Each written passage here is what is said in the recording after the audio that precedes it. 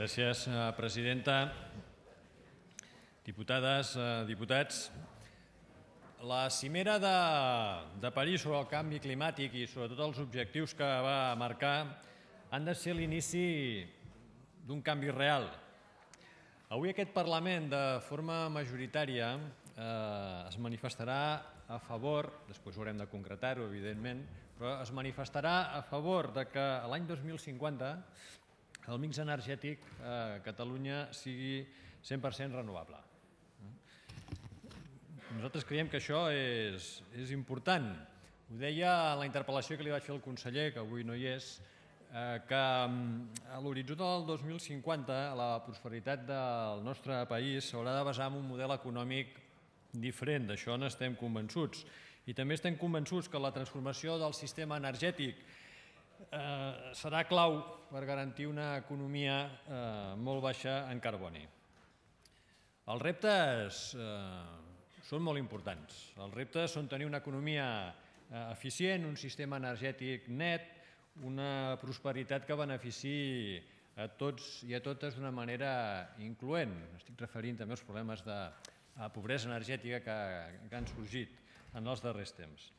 Hem d'actuar ja, eh? hem d'actuar amb la vista posada a mig i llarg, i llarg termini. No hem de tenir por al canvi. Sabem que hi haurà resistències, que hi ha empreses que tenen la seva pròpia agenda, que no veuen amb bons ulls la necessitat de canviar ni accelerar el ritme de la transformació.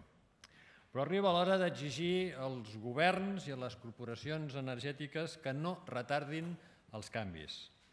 Fer servir exclusivament energies fòssils té uns riscos ecològics evidents. Catalunya, en coordinació amb Espanya i el conjunt de la Unió Europea, ha d'encarar una transició energètica. Portem una legislatura perduda. No s'ha buscat el consens en matèria energètica i tampoc hi ha hagut coherència en les decisions. No complirem els primers objectius fixats per la Unió Europea per l'any 2020. Torno a insistir, l'energia i sobretot l'electricitat pot convertir-se en motor del canvi. El sistema cada cop serà més descentralitzat, amb, generació, amb més generació de petita escala, escala distribuïda i que en la seva major part serà renovable. També desenvolupament d'empreses de serveis energètics orientats a gestionar més eficaçment el consum. Avui la innovació tecnològica, la maduració i abaratiment de les energies renovables, sobretot la eòlica i la fotovoltaica, les pròpies telecomunicacions, l'automatització de les llars i de les indústries ajuden en aquesta direcció.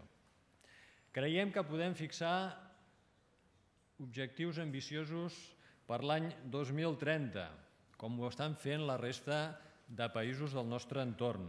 Creiem que es poden fixar objectius per tal de que l'any 2030 es pugui assolir el 70% de participació de les energies renovables en el mix de generació elèctrica. També reduir significativament la intensitat energètica de forma progressiva.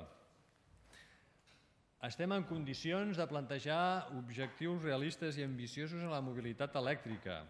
Nosaltres els, hi plantejàvem que l'any 2030 el 100% de la flota de la Generalitat de Catalunya eh, faci servir aquest modus. Eh, pensem que l'administració ha de, donar eh, exemple.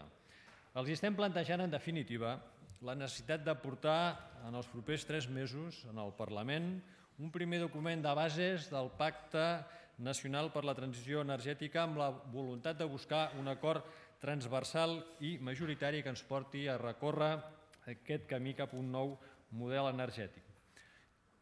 Pacte que des del nostre punt de vista eh, s'ha de centrar en alguns objectius. Ser més eficients des del punt de vista energètic, per tant desplegar programes d'estalvi i eficiència a nivell residencial, industrial i de mobilitat, assegurar, això sí, el subministrament energètic en base a la qualitat i a la fiabilitat, reduir la dependència dels combustibles fòssils, abordar el debat de l'energia eh, nuclear, reduir, com deia a l'inici, la precarietat energètica que afecta una part de la ciutadania, fer que els ciutadans tinguin més informació i siguin actors responsables eh, d'aquest canvi, i d'aquesta transformació i dir-li al govern que estem d'acord, ha de tenir més competències, però aquelles que té que les exerceixi.